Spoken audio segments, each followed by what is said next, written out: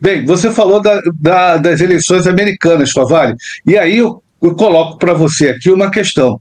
Está no Photoshop, né? A diferença de Kamala Harris e, e, e o Donald Trump está ali na. Pô, a gente olha, está na margem, como a gente costuma falar, está na margem de erro. Né, margem de erro, e hora um está à frente, outra hora não está. Eles estão disputando duramente os swing states, né, e qual sua, como é que você está olhando essa eleição, o quadro que se apresenta, como é que você está vendo isso, meu amigo? Se os senhores encontrarem alguém que disser, olha, vai dar Câmara ou vai dar Trump, é mentira, é chute. Aí quem fizer a aposta tem 50% de chance de ganhar. Não dá. Outras eleições já foram muito apertadas, Cabral, já, mas essa em especial é muito sugêneres, é muito difícil de fazer uma perspectiva. Quando Al Gore, inclusive as, as emissoras americanas, a CNN americana deu Al Gore nas nossas projeções eleito presidente, a diferença era muito pequena, houve uma margem de erro compreensível e no final, depois de recontagem e tudo mais, a vitória foi dada para o George W. Bush de novo, só para colocar todo mundo na mesma página, a gente está falando com uma audiência muito qualificada, acho que todo mundo sabe disso, mas só para deixar todo mundo ali nos mesmos parágrafos, o método eleitoral nos Estados Unidos é diferente do nosso. Então, Al Gore teve a maioria dos votos absolutos, mas perdeu em estados que têm um maior valor numa contagem dos chamados delegados, que é o mesmo número dos deputados federais no Congresso americano. Ou seja, é, estados mais populosos, eles valem mais nessa contagem. Então tem essa conta dos delegados. Al Gore teve maior número de votos absolutos, mas não ganhou. Hillary Clinton teve maior número de votos absolutos e não ganhou, perdeu para Donald Trump. Pode ser que aconteça da mesma maneira. Então, a pesquisa eleitoral americana, obviamente, leva essa, esse diferencial, leva essa variante na equação mas ela é mais difícil de acertar. Hoje tem um site que eu gosto muito de seguir, que ele é um agregador de pesquisas, chama 538, 538, que faz menção ao número de deputados federais, né? O, eles chamam de congressistas, né? Da House of Representatives, a que a gente chamaria de Câmara dos Deputados. O 538 é, ele agrega todas as pesquisas feitas e faz um cálculo de uma média ponderada. A Câmara Réu está a 2 ponto... Até estava olhando antes de começar, vou só olhar aqui de novo para dar a 2.4 nessa, nessa chamada média ponderada, dentro do que você falou, Ricardo Cabral, dentro da margem de erro. Mas de todas as pesquisas que, ele, que o 538 leva em consideração, eu estou falando que são mais de 20, só tem uma em que o Donald Trump aparece na frente. Todas a Câmara vence um pouquinho, mas de novo, é dentro da margem de erro, tem que levar em consideração o peso dos estados e outro fator. Aqui as pesquisas têm uma margem de acerto mais fácil porque tem um diferencial a menos. Nos Estados Unidos, o voto não é obrigatório. Ele acontece numa terça-feira, como manda a Constituição, já é inverno, então, às vezes, o, o, o, eleitor é abordado no meio da rua, fala: não, eu vou, eu vou votar nos republicanos, vou votar nos democratas. Ele até confessa o seu voto mais sincero, mas no dia ele não foi, porque ele não é obrigado a ir. E isso vai contaminando o resultado da pesquisa. Então tem essa variável. E tem, eu sempre lembro de uma terceira variável, que a gente não tem isso no nosso inconsciente coletivo, porque no Brasil não funciona assim, mas é mais um dificultador nos Estados Unidos, o americano não tem título de eleitor. Toda eleição ele tem que procurar o que aqui nós chamaríamos de justiça eleitoral, o cartório eleitoral, o junta eleitoral, e se registrar para aquela é, eleição. Então, para também, eleição. é, alguém é abordado na rua, fala, não, vou votar na Câmara, vou votar no Trump, e não se registrou, não foi votar. Então, as pesquisas até podem apontar para um norte, mas o resultado tem que levar em consideração essas variáveis. E como está tudo muito apertado, muito justinho, pequenas variações aí é, podem fazer a diferença. A gente falou isso no nosso último vídeo.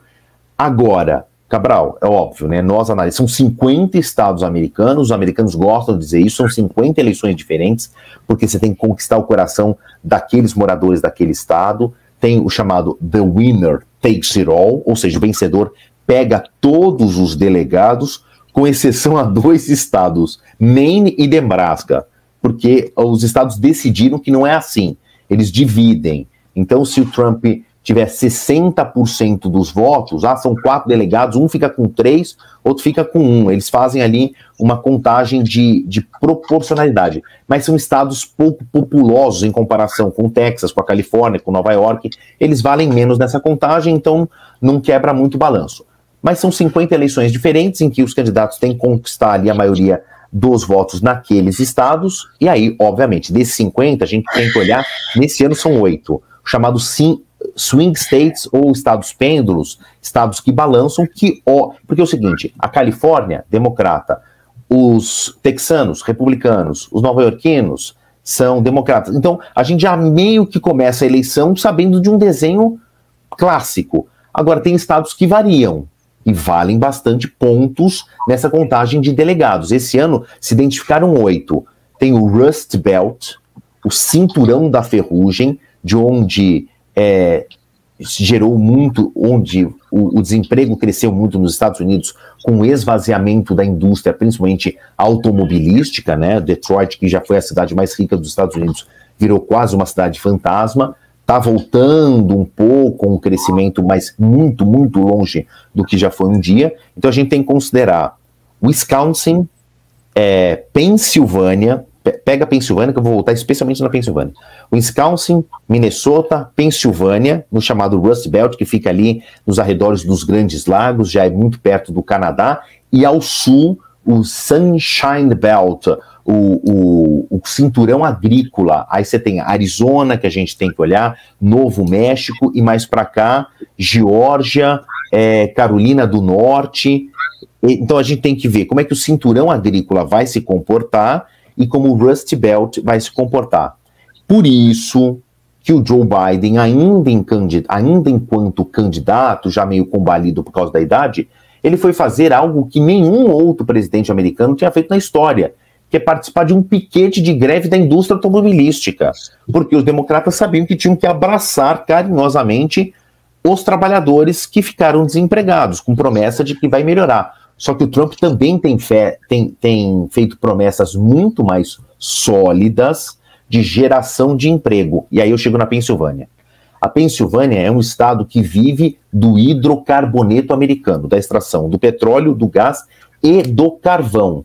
É que do carvão também sai algo que se tornou mais valioso para os Estados Unidos nos últimos anos, que é o chamado óleo do xisto betuminoso que é um tipo de óleo, é um tipo de petróleo impregnado na pedra que é possível fazer essa extração. Aí também tem duas leituras. Os republicanos querem muito esse investimento chamado fracking, aparece muito nos discursos, né? De é, você joga água em alta pressão, fracking, fraturamento, você fratura essa pedra esponjosa, como a água e o óleo não se misturam, a água expulsa o óleo e a indústria capta esse óleo.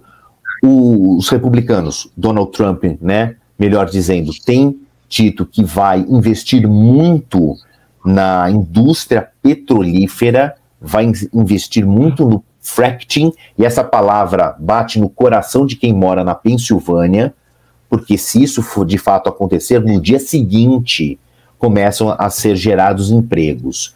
Quando se investe em infraestrutura e nas indústrias de extração, é, é, é necessário contratação de muitas pessoas e muitas pessoas de baixa formação, ou seja, operários. Aí eu estou falando de classe média baixa, que são sempre os mais afetados por qualquer crise. Quando você fala em inflação, quando você fala em alta taxa de juros e desemprego, a taxa, né, a faixa da população mais atingida é a classe média baixa. Então, quando um candidato vem falar, eu vou investir num setor que vai contratar no dia seguinte, isso causa aí um alento muito confortável no coração de quem quer ouvir esse discurso.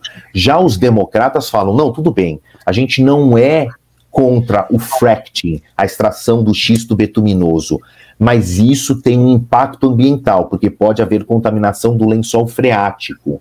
Então, os democratas querem fazer isso em menor escala. E teve um discurso recente da Kamala Harris dizendo o seguinte: gente, a gente tem que escolher. Ou a gente investe muito nessa extração desse tipo de petróleo, ou a gente corre o risco de grandes áreas urbanas, e ela falava especificamente da Pensilvânia, daqui 20, 30, 50 anos, perder a capacidade de extrair água potável. Então tem que fazer um balanço. Então é o seguinte, né?